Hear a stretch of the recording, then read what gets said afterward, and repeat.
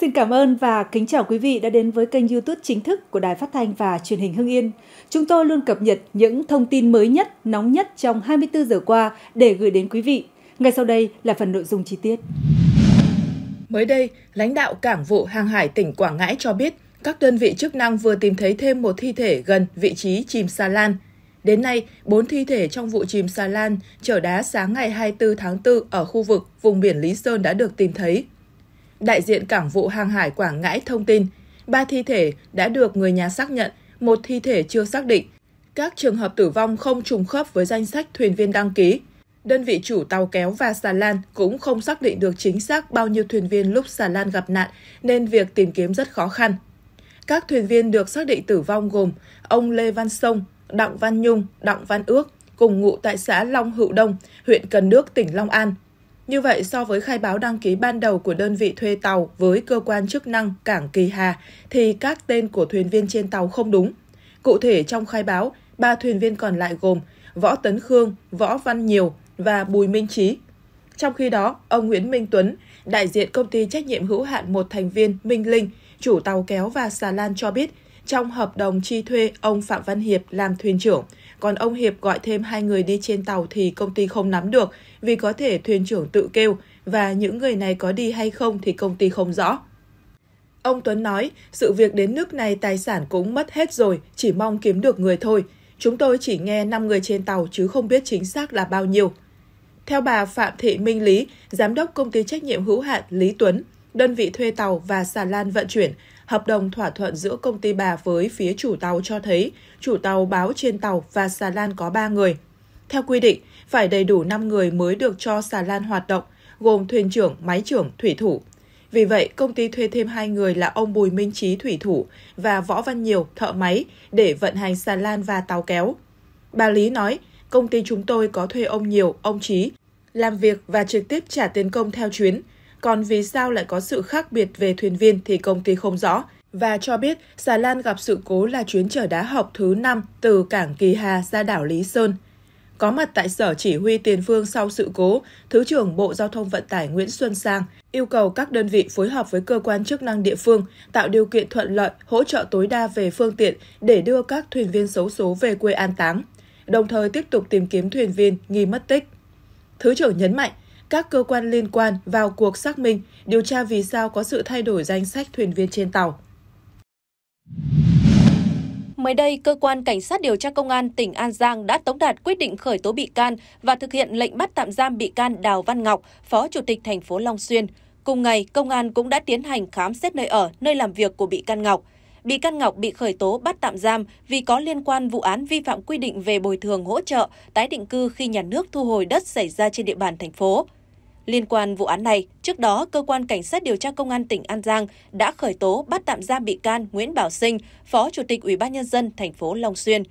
Trong quá trình điều tra vụ án, ông Võ Văn Trung, Giám đốc Trung tâm Phát triển Quỹ đất thành phố Long Xuyên đã chết, làm giả hồ sơ để được giao đất và cấp giấy chứng nhận quyền sử dụng đất các lô nền tái định cư. Công an tỉnh An Giang đã triệu tập 15 người. Trong đó có hai phó chủ tịch Ủy ban nhân dân thành phố là bị can Ngọc và Sinh, 10 người thuộc chi nhánh Văn phòng đăng ký đất đai thành phố Long Xuyên.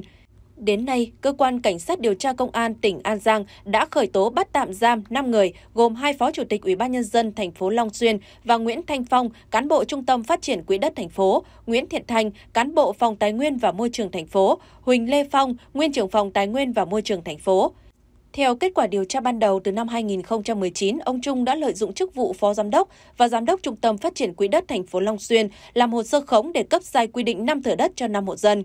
Những hộ dân này là Nguyễn Văn Cương, ngụ tỉnh Tiền Giang, Nguyễn Văn Tiếp, Nguyễn Văn Núp, Nguyễn Tấn Tài và Trần Thị Hồng Hoa, cùng ngụ tỉnh An Giang. Sau khi đã cấp giấy chứng nhận, ông Trung đã bán hai thửa đất do Cương và Tiếp đứng tên cho Lê Văn Phong, ngụ thành phố Long Xuyên với giá 7,2 tỷ đồng. Sau đó, Phong bán lại cả hai thửa đất này cho người khác với giá 11,5 tỷ đồng. Công an tỉnh An Giang xác định cả năm thửa đất nêu trên do những người có thẩm quyền trách nhiệm đã tham mưu, duyệt cấp không đúng đối tượng được bồi thường hỗ trợ tái định cư. Từ đó, công an đã khởi tố vụ án vi phạm quy định về bồi thường, hỗ trợ tái định cư khi nhà nước thu hồi đất. Hiện vụ án đang được tiếp tục điều tra làm rõ.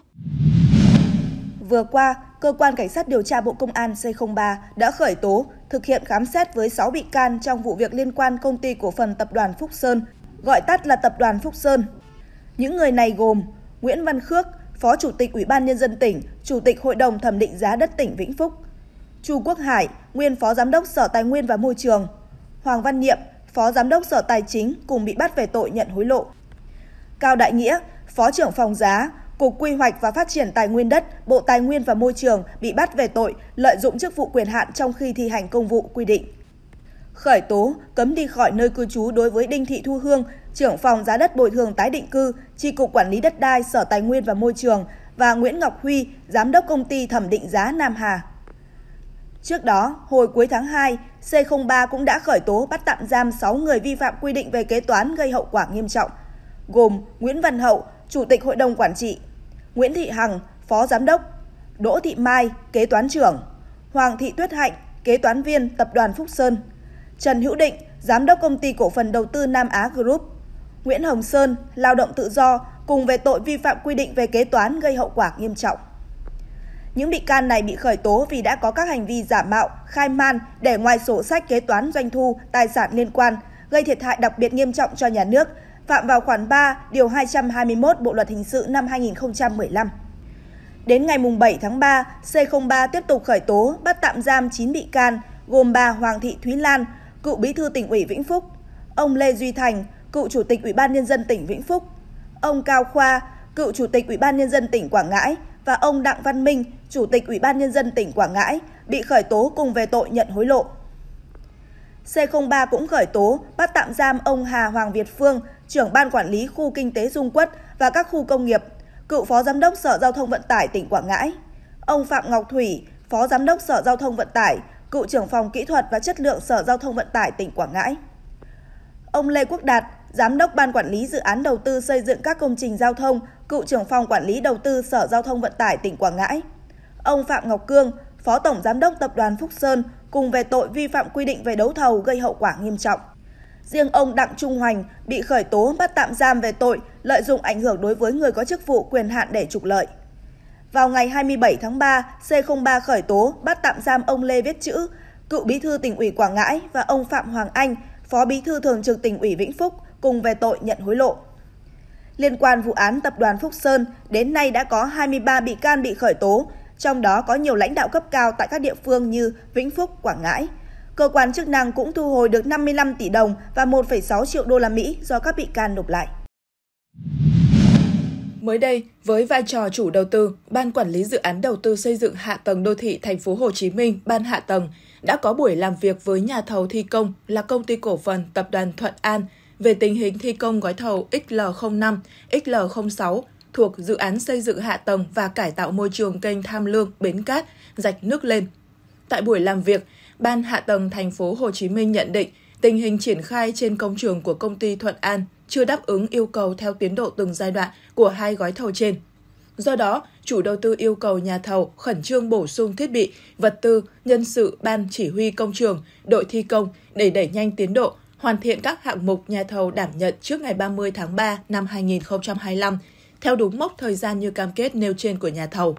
Nhà thầu này phải triển khai đồng loạt các công việc như lắp đặt hào kỹ thuật, lắp đặt cống dọc, cống ngang, hố ga, có trách nhiệm lặp lại bảng tiến độ thi công chi tiết phần công việc đảm nhận trong việc thực hiện gói thầu XL05, XL06, không làm ảnh hưởng đến tiến độ chung của gói thầu, trong đó nêu rõ tiến độ cung ứng vật tư, nhân lực và giá trị giải ngân theo từng tháng, gửi bảng tiến độ về ban hạ tầng trước ngày 27 tháng 4. Ban quản lý dự án đầu tư xây dựng hạ tầng đô thị thành phố Hồ Chí Minh giao liên danh nhà thầu tư vấn giám sát chủ động nhắc nhở, đôn đốc yêu cầu nhà thầu thi công có các giải pháp để đẩy nhanh tiến độ thi công. Lãnh đạo Ban quản lý dự án đầu tư xây dựng hạ tầng đô thị thành phố Hồ Chí Minh nêu rõ, trường hợp sau 30 tháng 4, chủ đầu tư kiểm tra công trường chưa thấy nhà thầu có kế hoạch triển khai các nội dung có liên quan mà tập đoàn Thuận An cam kết nêu trên các đơn vị tư vấn giám sát báo cáo về sự chậm trễ của nhà thầu trong quá trình triển khai thi công, ảnh hưởng trực tiếp để tiến độ của gói thầu XL05, gói thầu XL06, thì chủ đầu tư sẽ xem xét tạm ngừng và chấm dứt hợp đồng bởi bên giao thầu. Tham Lương, Bến Cát, rạch nước lên là kênh dài nhất thành phố Hồ Chí Minh với gần 32 km qua 7 quận huyện ở thành phố gồm 12, Bình Tân, Tân Phú, Tân Bình, Gò Vấp, Bình Thạnh và Bình Chánh. Dự án cải tạo dòng kênh khởi công cách đây hơn một năm, tổng vốn 8.200 tỷ đồng từ ngân sách. Công ty cổ phần tập đoàn Thuận An, trụ sở trên đường Phạm Hùng, Nam Từ Liêm, Hà Nội, thành lập từ năm 2004 do ông Nguyễn Duy Hưng làm chủ tịch. Doanh nghiệp này kinh doanh trong lĩnh vực đầu tư, xây dựng công trình hạ tầng kỹ thuật, kinh doanh mua bán điện, năng lượng tái tạo, bất động sản. Những năm gần đây, Thuận An trúng hàng chục gói thầu xây lắp trên toàn quốc. Vừa qua, ông Hưng đã bị bắt về tội vi phạm quy định về đấu thầu gây hậu quả nghiêm trọng và đưa hối lộ theo khoản 3 điều 222 và khoản 4 điều 364 Bộ luật hình sự. Hiện ông Trần Đức Khoa, Phó Tổng Giám đốc công ty, được ủy quyền điều hành toàn bộ hoạt động sản xuất, kinh doanh, thực hiện nghĩa vụ của người đại diện pháp luật công ty.